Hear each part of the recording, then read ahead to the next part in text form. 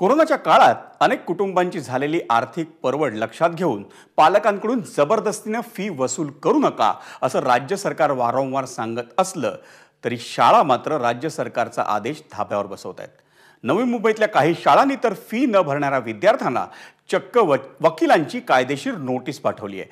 आता सांगा काय करायचं त्या पालकांनी? पाहूयात आमचा प्रतिनिधी विनायक पाटीलचा रिपोर्ट. फी न भरणाऱ्या विद्यार्थ्यांना वकिलांकरवी नोटीस.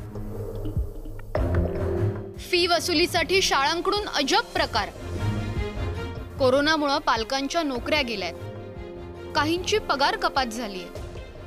उद्योगधंदे बंद पडलेत. रोजच्या जगण्याचा संघर्ष सुरू आहे. जबरदस्तीनं फी वसूल करू नका असं सरकार सांगतंय.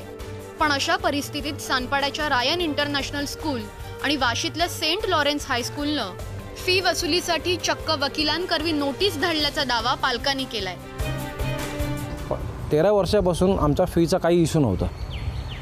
आणि आज असं कळलं की क- दोन दिवस अगोदर की त्यांच्या लिगल नोटीसकडनं वकिलाकडनं आम्हाला एक नोटीस आली घरामध्ये की तुमची एवढी फीज आहे सेवन विथिन सेवन डेज तुम्ही ही भरा.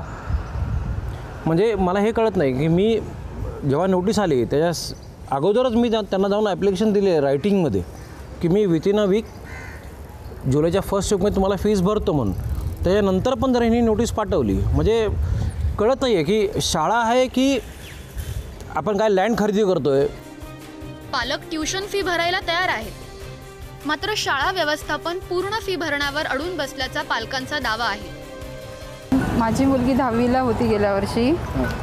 तिची मी फक्त ट्युशन फी भरली होती जून ते डिसेंबरपर्यंत आणि आता त्यांनी मी पुढची फी भरली नाही आहे मला शक्य होत नाही आहे भरायला. त्याच्यामुळे आता शाळेने ही लिगल नोटीस पाठवली आहे. मग आता ह्याच्यावर काय करायचं आहे विचार? ट्युशन फी जी आहे ती आम्ही ट्युशन फी आम्ही तुम्हाला भरू. पण त्याच्या एक्स्ट्रा जी तुमची फीज आहेत एक्स्ट्रा ॲक्टिव्हिटी आहेत शाळेचे क्लासेस होतात एक्स्ट्रा ॲक्टिव्हिटी स्विमिंग पूल आहे गार्डन आहे ते मुलं आता वापरच करत नाहीत त्याचा. तरी जे एक्स्ट्रा ॲक्टिव्हिटी आणि अदर्स जे आहे टर्म्स फी वगैरे म्हणून तर त्याची फी तुम्ही घेऊ नका. आम्ही जी ट्युशन फी आहे ती भरायला रेडी आहे.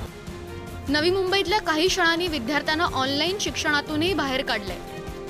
त्यामुळे पालकांनी आता कोर्टात धाव घेतली दुसरीकडे फी वाढीसाठी मानसिक त्रास देणाऱ्या पाच शाळांची मान्यता रद्द करण्यासाठी आयुक्तांनी शिक्षण उपसंचालकांकडे पत्रव्यवहार केलाय. की शाळेमध्ये येतात ज्ञान ग्रहण करण्यासाठी ज्ञान दान देण्यासाठी. बरोबर आहे? पण आज शाळेने दाखवून दिलं की आज त्यांनी ज्ञानाचा प्रकार बंद केला आहे आणि व्यावसायीकरण चालू केलं आहे व्यावसायिकरण चालू करत असताना त्यांनी या विद्यार्थ्यांना एक मानसिक त्रास कसा द्यायचा? पालकांना म्हणजे म्हणतात ना आर्थिक विवंचित अडक अडकलेले असताना आज ह्या महामारीच्या काळामध्ये सरकारने अनेक सारे निर्णय घेतले.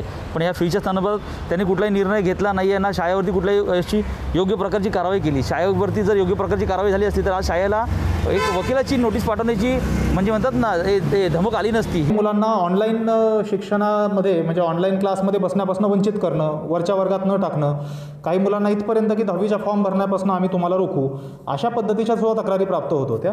या पार्श्वभूमीवरती अशा शाळांना नोटीसेस नोटिसेस काढण्यात आल्या त्यांची सुनावणी घेण्यात आली आणि ज्या शाळांच्या बाबतीमध्ये काही त्यांना समाधानकारक खुलासा देण्यात आला नाही किंवा त्यांच्या वर्तणुकीमध्ये वारंवार सांगून सुद्धा सुधार आढळला नाही. त्या शाळांच्या बाबतीमध्ये शासनाला अशा पद्धतीचे अहवाल सादर करण्यात आलेले आहेत. मला विश्वास आहे की इथून पुढे सुद्धा त्या शाळांनी त्यामध्ये या ज्या काही केसेस आढळलेल्या आहेत त्या बाबतीत आपला काही सुधार दर्शवला तर त्या पालकांची जी हॅरॅसमेंट होते ती नक्कीच कमी होऊ शकेल. पालकांना वकिलांच्या माध्यमातून पाठवण्यात आलेल्या नोटिसाबाबत आम्ही शाळेची भूमिका जाणून घेण्याचा प्रयत्न केला असता त्यांनी कोणत्याही प्रकारचा प्रतिसाद दिलेला नाही. विनायक पाटील एबीपी माझा नवी मुंबई. एबीपी माझा. उघडा डोळे बघा नीट.